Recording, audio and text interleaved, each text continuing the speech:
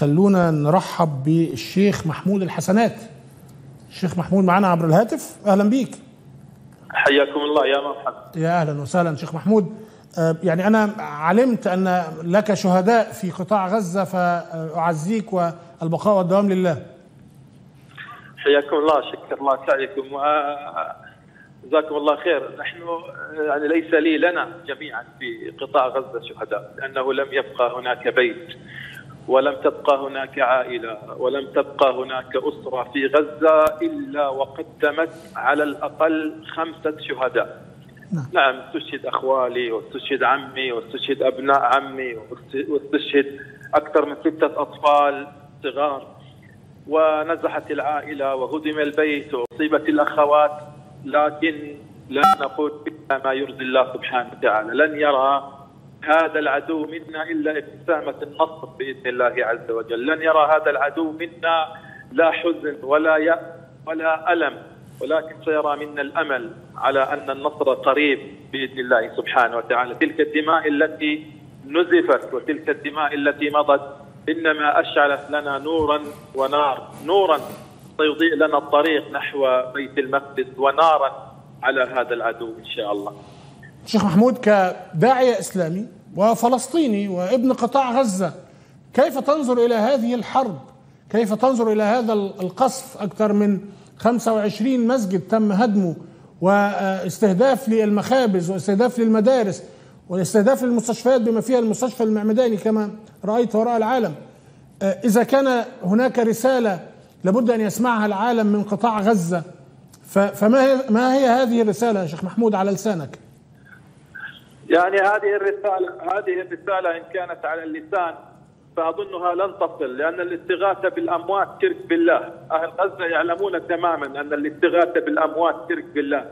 لهذا نحن لا نستغيث بأموات لا نستغيث بأصنام. هذه الأمة لا تسمع وحكام هذه الأمة لا يسمعون. صم بكم عم فلمن سنودي هذه الرسالة؟ الرسائل الموجودة الآن أمامهم عبر الفضائيات وأمام هذا العالم هذا العالم المنافق هذا العالم الكاذب. آه هذا العالم الذي لا يرى هذه الدماء ولا يرى هذه الأشلاء ولا يرى هؤلاء الأطفال. فالرسالة وصلت لكن من أوصلها؟ ليس خطباء. وليس دعاء هذه الرسالة أوصلها أطفال صغار قطعت أشلاءهم وعائلات مسحت من السجل المدني ماذا يريدون؟ هل يريدون رسائل أكثر من هذه؟ هل هل ننمق لهم العبارات؟ هل نجمل لهم الرسائل؟ هل نخترع لهم الكلمات الجميلة؟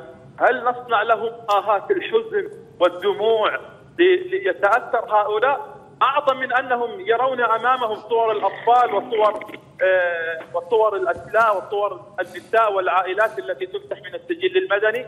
فأظن إن كانت هذه الرسالة المصورة والمثبتة على هذا العدو بالصوت والصورة لم تصل لهم فلن تصل رسالتي لهذا العالم لكن نقول لهم نوم العوافي.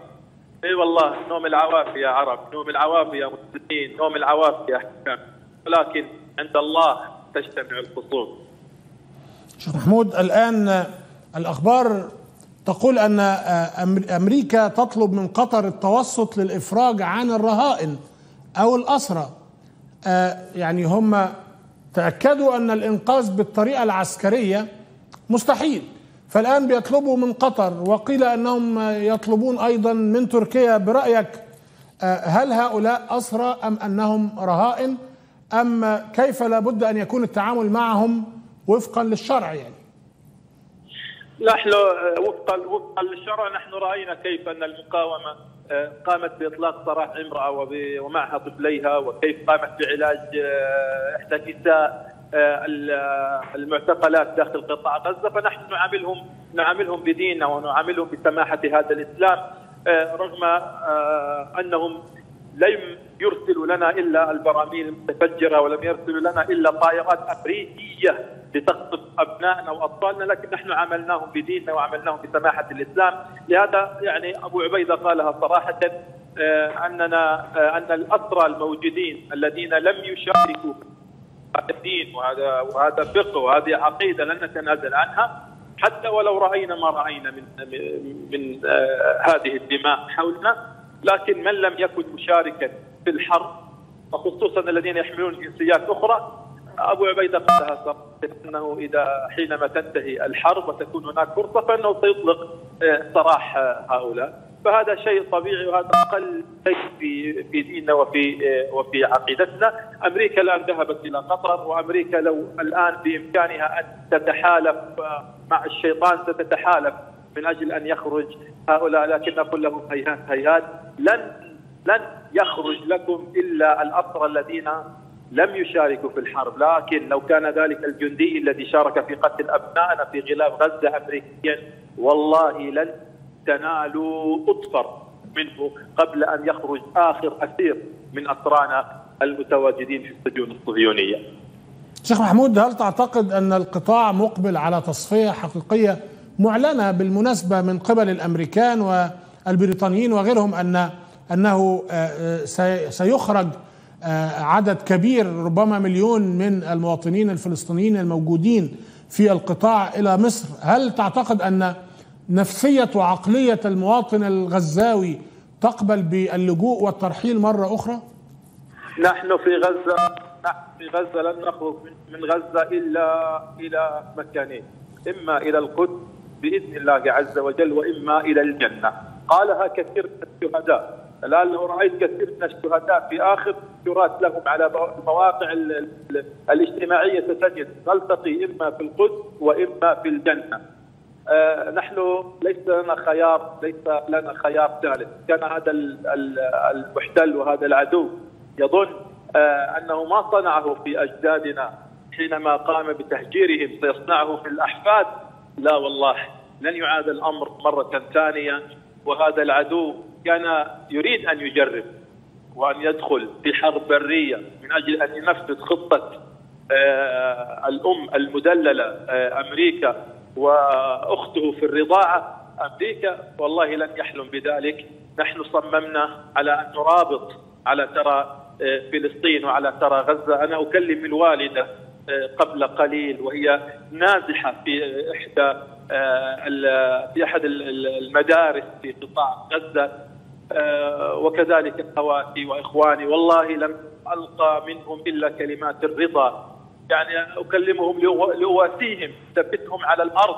فأجد أنني أنا بحاجة لمن يثبتني بتلك الكلمات التي تخرج من أفواههم. فهم مثال للصبر ومثال للرضا والقبول على قضاء الله عز وجل وقدره.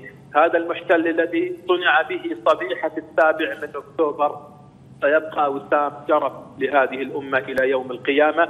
بل هذا الذي سيقربنا للتحرير وليس الذي سيذهبنا إلى مصر وإلى غيرها لنهجر لا ما قبل 7 أكتوبر ليس كما كما بعده. نحن خطونا خطوات طويلة نحو التحرير. لن نتراجع عنها بإذن الله. ولو كلفنا ذلك أن نبعد عن بكرة أبينا.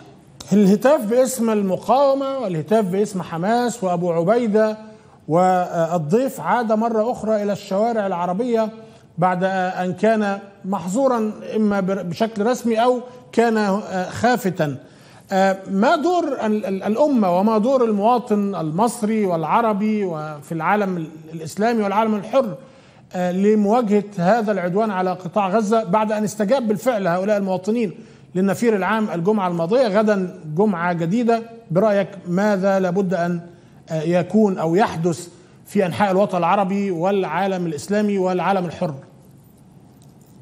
جزا الله كل من صرخ جزا الله كل من خرج جزا الله كل من ندد جزا الله كل من ساهم في نصرة أهل أهلنا في غزة ونسأل الله سبحانه وتعالى أن يكتب أجركم. لكن نحن نحتاج المزيد نحن نحتاج المزيد نحتاج من الشعوب أن تضغط على أن تضغط على حكوماتها. نحتاج أن تراب في الشوارع العواصم العربية. لا أن تخرجوا في مظاهرة ثم تعودون إلى بيوتكم وكأن شيئا لم يحصل.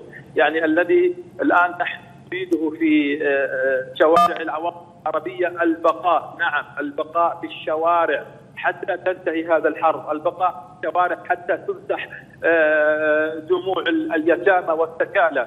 نحن نريد كما رأينا كثير من الثورات العربية والبقاء في الشوارع حتى يسقط النظام. نحن الآن بحاجة إلى أن تبقى في الشوارع وأن تبقى طوال مدة هذه الحرب قائمة ملتهبة مشتعلة في الشوارع وكذلك الدول المجاورة لغزة على حدود غزة وعلى حدود فلسطين. أن يبقى هؤلاء مرابطون. أهل غزة لم يخذلوكم نحن لم نخذلكم صبيحة السابع, السابع من أكتوبر. الآن حق لكل عربي أن يرفع رأسه.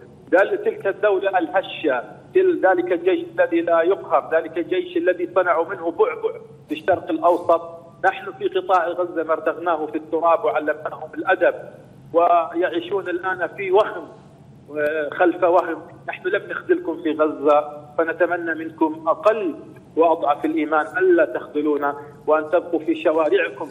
تقومون بنصرة أهل غزة بإذن الله نعم. عز وجل. نحن كفيلين بأعدائنا لا تقلقوا علينا. اتركوا إسرائيل لنا. شيخ محمود لنا. شيخ محمود يعني في النهاية أنا أود أن أسمع منك رسالة إلى الشعب المصري آه، في المقام الأول ورسالة إلى أهل غزة وأهل الضفة ولكل الفلسطينيين ورسالة عامة. لديك الميكروفون ونستمع لك وللرسائل التي ترسلها. أنا رسالتي إلى الشعب المصري. يعني الكثير من الشباب والأطفال آه، الذين يحملون الجنسية المصرية وهم عشرات قد استشهدوا في هذه الحرب. نحن بيننا نسب وبيننا دم آه، وبيننا صلة آه، صلة خصوصا هذه الصلة صلة قرابة في قتال في قتال الصهاينة وفي قتال هذا العدو. فنحن نريد من الشعب المصري أن ينتفض نريد من الشعب المصري أن يكون له دور. نحن إخوانكم نحن الذين آه، تجمعنا حدود بيننا وبينكم وقرب كبير. في الجسد وفي العقيدة وفي الإيمان، نريد أن نرى منكم همة عالية، إن كانت هناك همة لدى الشعوب الأخرى فلا بد أن تكون همتكم يا أهل مصر أعلى وأعلى وأعلى. نريد أن تشتعل الشوارع، نريد أن تقتربوا حتى من آه، من معبر رفح لتطالبوا بفتحه، نريد أن نرى شيئا على أرض الواقع أكبر من الهتافات ومن غيره. وأما رسالتي لهذه الأمة اعلموا أن النصر قريب بإذن الله سبحانه وتعالى لكن نحتاج المزيد. وإلى أهل غزة ماذا سأقول لكم؟ يا أهلنا في غزة ماذا سأقول لكم؟ جزاكم الله خيرا عن هذه الأمة. جزاكم الله خيرا عن الثبات جزاكم الله خيرا عن ما تقدموه اليوم بشوارع غزة. والله بكم نرفع الرأس. اثبتوا على ما أنتم عليه فإن الأمة كلها معكم. الأمة كلها تدعو لكم. والله أنتم الرجال. والله إن اختفى الرجال فأنتم الرجال والله إن ضاعت البطولة فالبطولة في شوارعكم. بكم نفتخر وبكم نرفع الرأس. نسأل الله سبحانه وتعالى أن ينصركم عما قريب ونصركم قريب. بإذن الله عز وجل يرونه بعيدا ونراه قريبا بإذن الله عز وجل.